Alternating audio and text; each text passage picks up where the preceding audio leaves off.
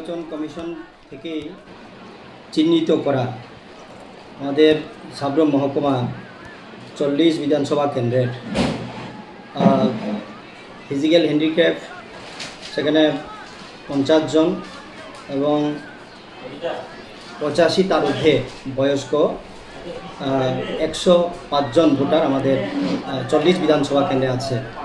তো যথারীতি গতকাল এই বিধানসভা কেন্দ্রের ছয়টা টিম বিভিন্ন ভূত এলাকায় তাদের ভোটদানের জন্য সেখানে তারা যান এবং উভয় রাজনৈতিক দলের সেখানে পোলিং এজেন্ট সেখানে ঠিক করা হয়।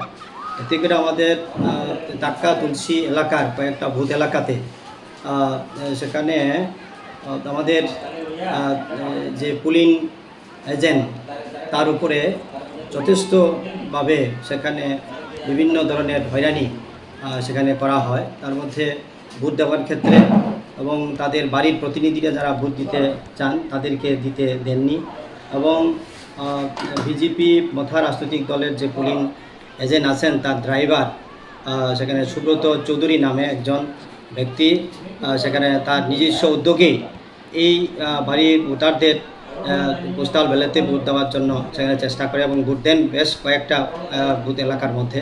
এবং আমাদের এজেন্ট তার প্রতিবাদ করা হয় এবং সেখানে যে প্রিসাইডিং অফিসার আছেন, স্বপন দাস ওনাকে বারবার অভিযোগ জানানোর পরও তার পদক্ষেপ গ্রহণ করেনি আজই এইরকম একটা সময় আমরা দেখেছি, তাদের যে এই লোকসভা নির্বাচনে, তাদের যে এই দুইটা আসন তারা যে হারছেন, তারই প্রতিফলন সেখানে দেখা গেছে।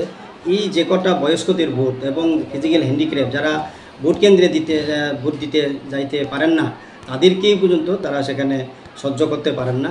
তারা এই এই যে কটা ভোটটাকেই তারা ক্যাপচার করার জন্য সেখানে চেষ্টা করেছে। আমরা তীব্র প্রতিবাদ জানাচ্ছি এবং আগামী দিনে যাতে করে প্রতিটি ভূত এলাকার মধ্যে নির্বাচন কমিশন যাতে উদ্যোগ গ্রহণ করে যথেষ্টভাবে সেখানে আরক্ষা দপ- ব্যবহার করার এ ব্যবহার যাতে করে, তার জন্য আমরা নির্বাচন কমিশনের কাছেও আবেদন করছি।